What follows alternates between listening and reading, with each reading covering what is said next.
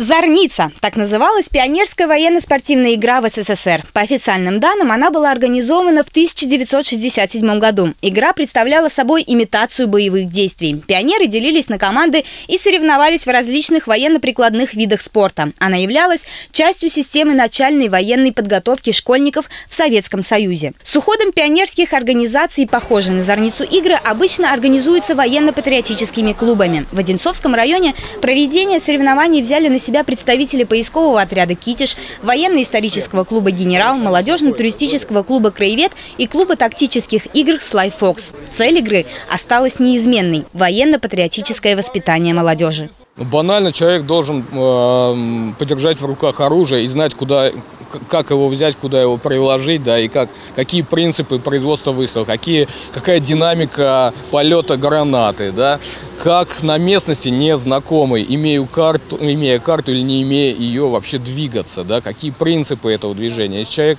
с нуля пришел, ему никто ничего не объяснил, не показал, он вряд ли это сможет сделать.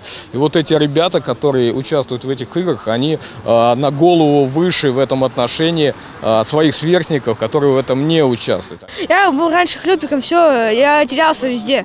А теперь ну, мне тут на, научили ориентироваться, не терять надежду и идти вперед. После того, как судьи зарегистрировали команды, которых набралось 8, и ознакомили юных патриотов с требованием безопасности, подразделения поочередно начали выходить на маршрут. Командам предстояло пройти немало сложных испытаний. На время собрать и разобрать автомат Калашникова, определить по компасу азимут и расстояние до конкретного объекта, поразить движущуюся мишень из пневматического пистолета Макарова и стационарные цели из пневматической винтовки, уничтожить гранатами мишени и с помощью азбуки Морзе передать сообщение. Среди участников игры немало девушек. Одна из команд состояла только из них и называлась «Азори здесь тихие». Пистолеты, винтовка, тяжелое снаряжение, стрельба. Может, все-таки не женское это дело участвовать в таких военных играх? Положительно вообще к девушкам отношусь, а к участницам вдвойне.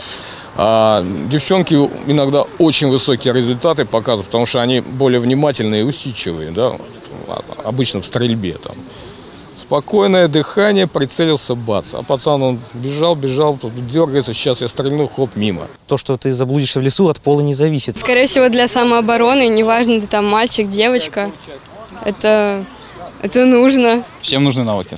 Лишним, э, точно не, лишним точно не будет. Девушки действительно хорошо себя проявили, особенно в стрельбе из пистолета. После того, как все участники военно-спортивной игры завершили дистанцию, арбитры соревнований приступили к подведению итогов. По сумме набранных баллов третье место завоевала команда «Феникс» Одинцовского гуманитарного университета. А серебряными призерами стали ребята из команды «Смерч» лицея номер 10. Верхнюю ступень пьедестала заняла звездочка, представлявшая лицей номер 6. Дарья Киреева, Станислав Трифонов, телекомпания «Одинцова».